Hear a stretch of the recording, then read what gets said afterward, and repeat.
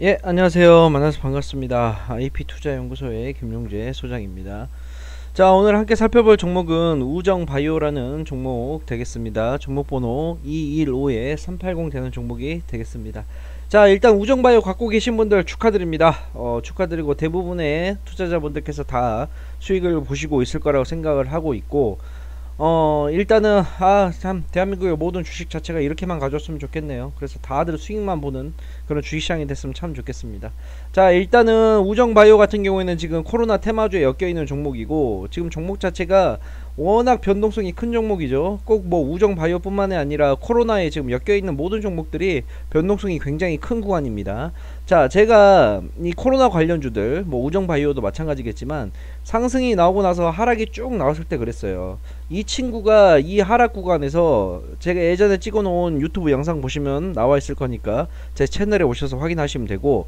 자 종목이 테마주들 코로나 관련 테마주들이 상승이 한번 나왔다가 죄다 다 꺾였었습니다 굉장히 많이 꺾였어요 그래서 바닥을 만들고 있었는데 여기에서 만약에 추가적인 상승이 나오면서 전고점을 뚫어준다 라는 패턴이 나오는 거는 굉장히 어렵다고 얘기를 했었습니다 보통 테마주들이 상승이 나오고 나서 꺾이고 나면 이걸로 끝이에요 다시 재상승이 나오는데 시간이 꽤나 걸립니다 수급을 다시 모아야 되는 과정이 있기 때문에 근데 이거는 지금 현재 코로나에 관련된 종목이고 코로나가 아직 끝나지 않은 상태이기 때문에 만약에 이 친구가 이 바닥권에서 상승이 말도 못하게 다시 한번 나오기 위해서는 뭐가 필요하느냐 바로 코로나가 말도 안 되는 변곡점을 맞으면 가능하다 그랬어요. 그 변곡점은 뭐였느냐?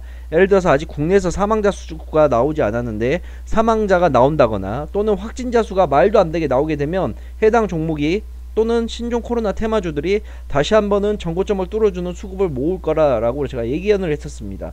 근데 제가 그렇게 말하고 나서 얼마 안 뒤에 처음으로 이제 국내 사망자 수가 뜬 거죠. 그래서 종목이 지금 이렇게 날아가 버린 겁니다. 자, 이제부터 또 조심해야 될 구간이에요. 이제부터는 올라간다고 해서 다 좋아할 구간이 아니라 지금부터는 또 리스크를 하면서 관리를 해야 될 구간입니다. 자, 이거 한번 경험해 보셔서 아시죠? 수급이 꺾이게 되면 그냥 빠져요. 이게 뭔 말이냐면 이게 상승이 나올 때는 바닥에서부터 상승이 나올 때는 테마의 영향을 많이 받는데 이게 어느 정도 고점이 되게 되면 그때부터는 테마하고 상관이 없이 수급 싸움으로 바뀌는 겁니다. 자, 이 하락이 나올 때도 코로나는 끝나지 않았었고요. 그쵸? 지금 구간도 아직 코로나는 끝나지 않았어요. 그러면 우리가 상식적으로 생각했을 때 주가가 이렇게 빠져야 되느냐? 아니죠. 계속 올라가야지 정상이죠. 코로나가 끝날 때까지. 근데 왜 이런 하락 구간이 왜 발생을 할까요? 이 발생하는 이유는 간단합니다. 차익 실현 매물이 쏟아지기 때문이에요. 그걸 받쳐주는 매수 세력이 없는 거고. 마찬가지입니다. 지금 구간에서부터 또 바닥에서 말도 안 되게 지금 상승이 나왔어요. 어? 단 3일 만에 지금 하나, 둘, 몇 프로가 오른 겁니까? 3일 만에. 그러면 이렇게 급등을 하게 되면 당연히 또 위에서부터 뭐가 쏟아질까요? 당연히 위에서부터 차익 실험 매물이 쏟아질 수밖에 없는 거죠. 간단하죠. 그러면 지금부터는 슬슬 차익 실현을 하면서 매도 물량을 줄여나가면서 수익 실현을 해야 될다라고 저는 개인적으로 생각을 합니다. 아니다. 나는 끝까지 한번 보고 싶다라고 하시는 분들께서는 양봉이 있으면 양봉의 종가는 여기 위에요. 음봉의 종가는 여기입니다. 그리고 위아래로 꼬리를 만들 수도 있고 만들지 않을 수도 있어요 그쵸 근데 우리가 꼬리의 길이는 생각하지 마시고 종가만 확인하시면 됩니다 종가만 그래서 종가만 확인을 하시고 3일선과 5일선 위로 종가가 형성이 되어 있다 그러면 보유입니다 근데 3일선과 5일선 아래로 종가가 형성이 되어 있다 그럼 매도예요 간단하죠 이것만 지켜주시면 됩니다 자 이날 보세요 이날 3일선 이탈했죠. 지금 녹색선이 녹색선이 3일선이에요. 저는 모든 급등주와 테마주들은 무조건 보통 3일선 위주로 종목을 봅니다. 그래서 3일선을 이탈하면 종가가 이탈하면 거의 매도 시점으로 대응을 해요. 자 보시게 되면 이날 3일선 이탈했어요. 그러고 나서 주가 어떻게 되죠? 쭉 빠지죠. 보통 3일선 이때도 보세요. 3일선과 5일선 이탈하게 되면 어떤 모습이 나오나 가죠. 응? 그러니까 보통 3일선을 이탈하게 되면 종목들이 매도 물량이 많이 나와요. 그래서 거의 이게 100%다 맞는 매매법은 아닌데 보통 7, 80% 확률로 맞아 들어갑니다.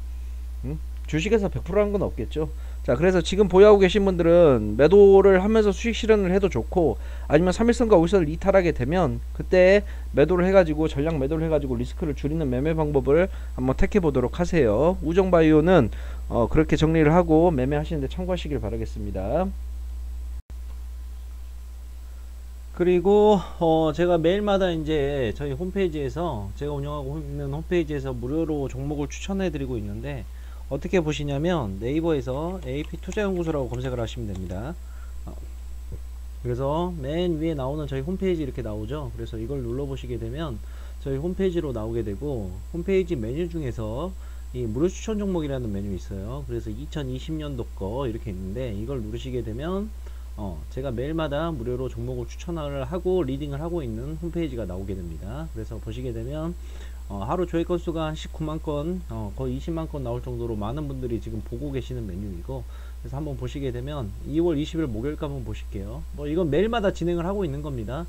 자, 그래서 이제 장이 시작하기 전부터 이제 제가 이제 미국 지수 보여드리고 그 다음에 현재 시황에 대해서 간단하게 이렇게 써드리고 있거든요 그리고 이제 장이 시작할 때쯤 되면 30분 전입니다 20분 전입니다 이렇게 해서 9시부터 이제 시작을 합니다 그래서 9시 1분에 뭐 현재 시간 몇 시 몇 분에 무슨 종목을 얼마에 사라 그리고 1차 목표가는 얼마고 손절가는 얼마다 라고 이렇게 알려드리고 있고 보통 하루에 세종목에서네종목 정도 제가 추천을 드리고 있고 추천드린 종목들은 어, 오버나잇을 안하고 당일 매수 당일 매도 원칙입니다.